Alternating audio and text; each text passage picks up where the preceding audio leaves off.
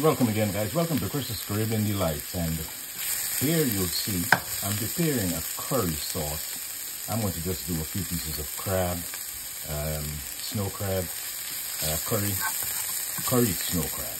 And um, I have in this, this, this combination here, I have some green onions, uh, some uh, white onion, some green seasoning, curry, curry powder, and garam masala, and some cumin. And I'm just cooking this up for a while so that the spices could release their flavors and their aroma before adding any uh, any liquid to it.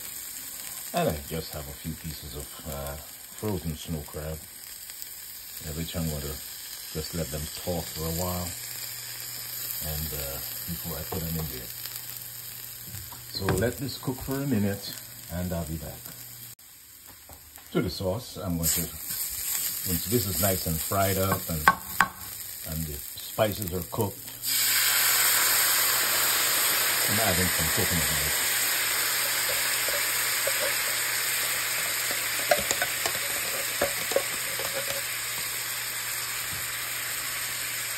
Adding some coconut milk in here. And this is going to be a wonderful sauce.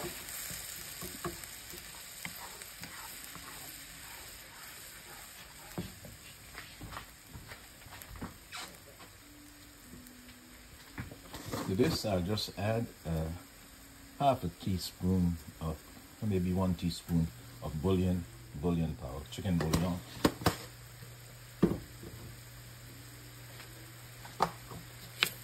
A dash of Tajín. That's another salt element. Don't want too much salt. I have a little bit of heat in here already. Let's get that heat going. Pepper flakes.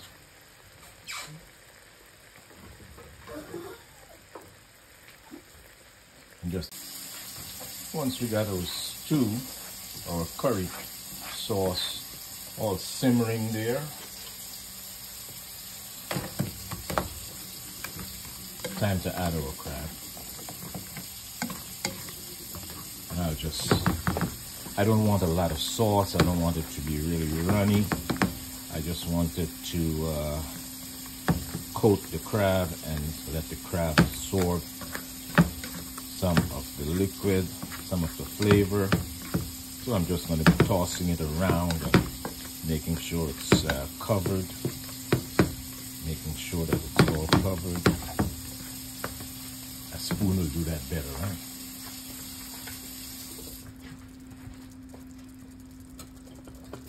Let's get a spoon. Yeah, we'll just, just toss this around. Let it let it simmer in this curry sauce. Nothing too fancy.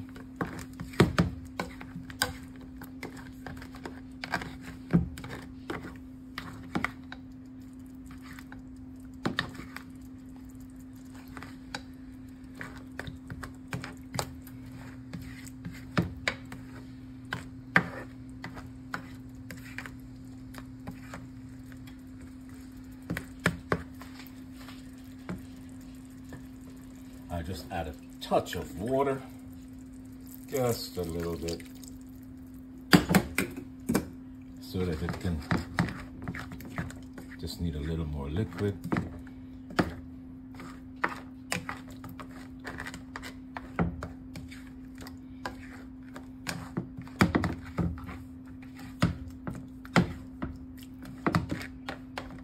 Now I'll just drop a cover on here and cover it for, for about five minutes and then I'll be done.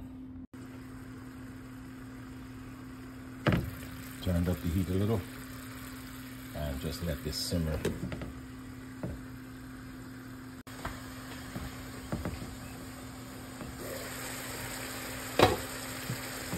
Nice and bubbly, okay.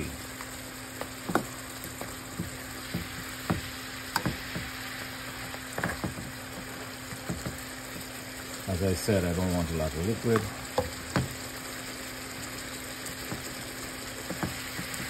So I just let the liquid render off while the crabs absorb the flavor. Turn over, guys. I'm going to turn me over. Good.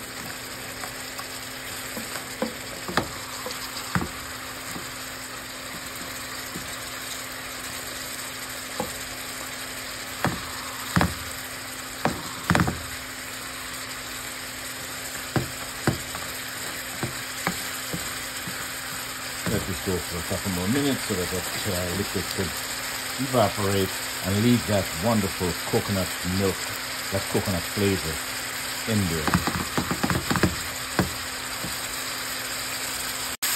Here we go. This is a wonderful bunjal crab. Bunjal crab.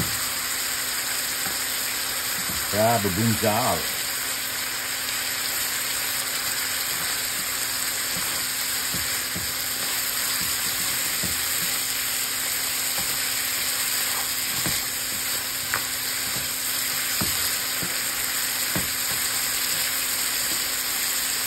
This up with some roti, rice,